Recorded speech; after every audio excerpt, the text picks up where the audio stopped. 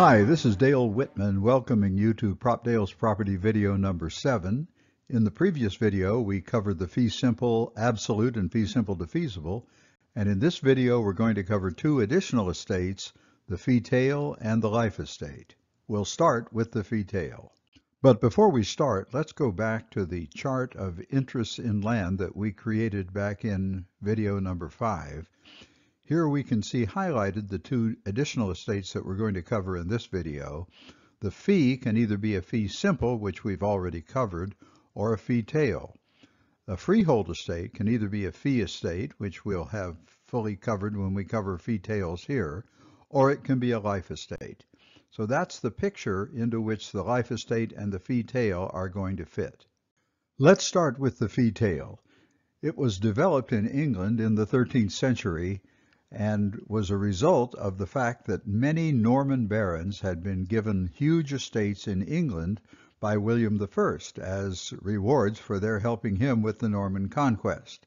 These barons did not want the land to pass out of their families, and so the fee tail was their attempt to keep land in their families through successive generations. To look at the language that was used to create the fee tail, the standard language was to A and the heirs of his or her body. Now that sounds similar to the language that was used to create the fee simple, namely to A and his or to her heirs. But it's a little different. The words of purchase, the words that tell who's receiving the interest, are the words to A in this example. But the words of limitation that tell what type of interest is being conveyed are the words heirs of the body. That's as distinguished from the fee simple estate where the words were simply and his heirs or and her heirs. So the heirs of the body language was necessary to create a fee tail. Now we need to think a bit about what the term heirs of the body or bodily heirs really means. We start with the definition of heirs and an heir is a person who, under the intestate succession statute of a particular state, is entitled to receive a decedent's property if the decedent dies without a will. Now, at the common law, heirs were very narrowly defined to include only the offspring of the decedent, but today they're much more broadly defined to include not only your offspring, but potentially your spouse, your ancestors, and collateral relatives as well. So heirs today is a much bigger class of persons than heirs at common law was. However, when we say heirs of the body, we're narrowing the definition of heirs, even today, to include only the offspring. The idea of the body was that only the offspring would be included. So that means that only children, grandchildren, and great-grandchildren could be heirs of the body of a decedent. Let's take a look at the way the common law fee tail would actually operate. If O deeds to A and the heirs of his body, A is what we call the first taker of the property, and A would hold the property during A's lifetime. When A died, the property would pass to A's bodily heir. Let's assume that A only has one bodily heir, and we'll call him B, and B would hold the property during B's lifetime. When B died, it would pass to B's bodily heir. Let's assume that that would be C. So you can think of the fee tail as a sort of chain of bodily heirs, one after another, each party holding a life estate and stretching on out forever. If the chain of bodily heirs ever ran out, someone simply didn't have any offspring, then the, the end of the fee tail would arrive and the property would revert back to the original grantor who had created the fee tail, or if that person was dead, to his or her heirs. Suppose one of these parties tried to make a conveyance outside the family. For example, B might execute a deed of the property to X, an outsider. X would hold the property and could use it and occupy it, but only as long as B was alive. And as soon as B died, that would be the end of X's, in effect, life estate, and X's property would then pass back to C, the next bodily heir after B, in the chain of bodily heirs.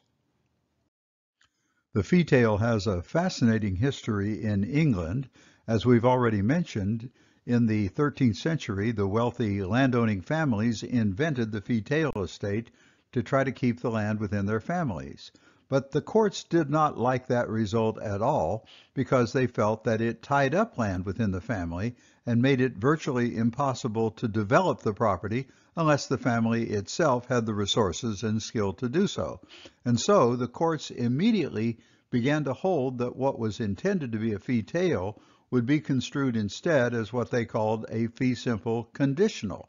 And by fee simple conditional, what they meant was that as soon as issue were born alive to the first taker, the first taker could convey a fee simple. So in other words, as soon as the first taker had a child, the first taker could give somebody else a fee simple, and that would be the end of the fee tail. Well, the wealthy families did not like that result, and so in 1285 they got Parliament to pass the statute De Donis Conditionalibus. The statute simply said to the courts, stop doing that. Instead of reconstruing the fee tail as a fee simple conditional, construe it the way the wealthy families want it to be construed as a fee tail estate that will stay in the family. The courts, however, were not very deterred by the statute conditionalibus, and so within a few years the courts began to frustrate the intent of the statute by allowing fictitious lawsuits to be created that would, as they put it, bar the entail.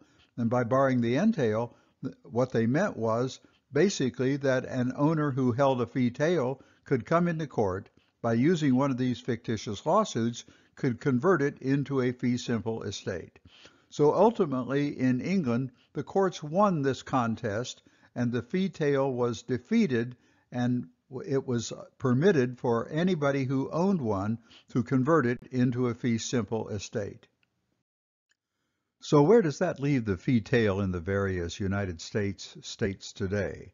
Probably the most common result is that it's simply deemed to be a fee simple absolute estate. Here's the DC statute, but many states have similar ones. It says all estates of inheritance, including such as were formerly estates tail, shall be adjudged estates in fee simple. That's probably the majority view. A second possibility is a few courts say the fee tail does operate, but if one of the owners, including the very first taker, makes a conveyance, it becomes a fee simple absolute upon inter vivos transfer. That means transfer by a deed. Another possibility is, as in they say in South Carolina, the fee tail becomes a fee simple conditional. Remember, the fee simple conditional said that as soon as there was issue born alive to the first taker, then the first taker could convey a fee simple absolute. A further possibility, which several states follow, is that it's deemed to be a life estate in the first taker with a remainder in fee simple to his or her lineal descendants. Florida, Arkansas, and Missouri are among the states that have that type of statute. It turns out that can be quite convoluted and can give rise to a fair amount of litigation. But the principle is that ultimately it will become a fee simple estate. The common law fee tail estate is still recognized in a few states, including Massachusetts, Rhode Island, Maine, and Delaware. So what do you need to know about the fee tail estate today? Well, in reality, not very much. First, you need to be able to recognize it by looking at that heirs of the body language and saying, yep, that's a fee tail. Second, you need to know what your particular state's law says about the fee tail. And as I indicated, the majority or most common view is that it's treated simply like a fee simple absolute. That completes our discussion of the fee tail estate, and now it's time to turn to the other main topic of this video, the life estate. Now, the principle of the life estate, of course, is that the property will remain in someone's ownership, but only as long as they're alive. The standard language is simply that O, the owner of the property, makes a deed or a will that says, I convey this property to A for life. I want you to notice that in this situation, A is really fulfilling two different roles. First of all, A is obviously the owner of the life estate.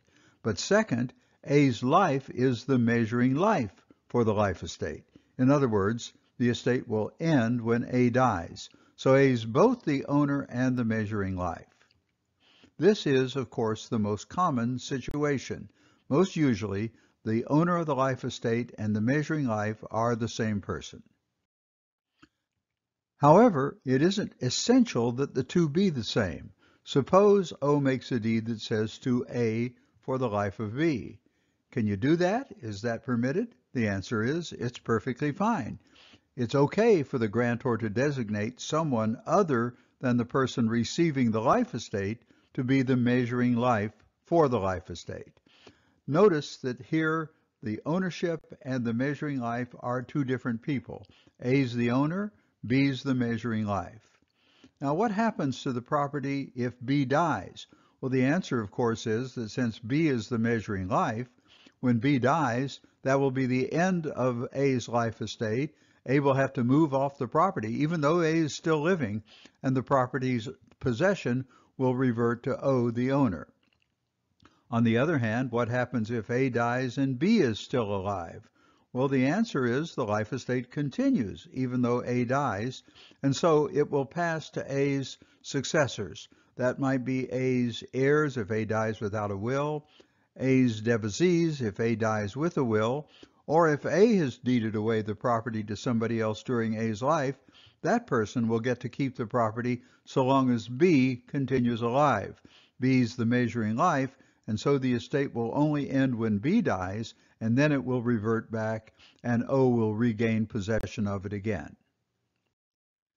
Now let's think about what happens if someone holds a life estate and makes a conveyance, a deed for example, to someone else. Here we start off with a garden variety life estate, O conveys to A for life. Later, A conveys to B. What does B get? Well, we already know that a deed is presumed to convey everything that you hold. In general, if you have a fee simple absolute estate, that will pass by a deed, but if you don't have a fee simple absolute, your deed will nevertheless pass whatever lesser estate you might have. In this case, A has a lesser estate, namely a life estate, and therefore that's what B gets. So now B is the holder of a life estate, but it's for the life of another because the measuring life for the life estate doesn't change when the life estate is transferred to B. A is still the measuring life. So B, as we said, has an estate for the life of another, namely for A's life. So what happens to the land if B dies but A is still alive? Well, the property's ownership in B doesn't end when B dies because A is the measuring life, and so the property will pass to B's successors. That could be B's heirs if B dies without a will, could be B's uh, devisees if B dies with a will, or if B is conveyed to somebody else, they'll still have the property. Whoever it is that is the successor of B will get to keep the property until A dies, and then it will revert back to the original grantor. Likewise, what happens if A dies but B is still alive? Well, because A is the measuring life, that, the, that is the end of B's life estate. And B will have to move off the property even though B is still living, and the property will revert in possession to O, the original grantor. So that leaves us with the following question. Would you want to buy a life estate? If you were looking for real estate, uh, a house to live in, or real estate to develop in some way, how would you feel about buying a life estate? Well, the answer is unless you also happen to be a high stakes gambler, you probably are not interested in the least. The reason is that if you buy a life estate, since the original owner's life remains the measuring life, if the original owner dies, immediately that's the end of your life estate. Well, almost nobody who's interested in buying or uh, developing or occupying property wants to be subject to that sort of risk. So as a practical matter, there really isn't any market for life estates. Now we're going to wind up by talking about a kind of a fun little terminological issue with life estates. If the ownership of the life estate and the measuring life are different people, we have a couple of names that we can give to the life estate. The standard English way of expressing it is simply that it's an estate for the life of another. But if you like to speak law French, you can use the law French terminology that was used back in the early English common law it's called an estate per autre vie, which is simply French for estate for the life of another. And that's the end of our discussion of life estates. In our next video, video 8, we'll provide an introduction to the wonderful topic of future interests. If you have questions or comments, email profdale01 at gmail.com. And thanks for watching.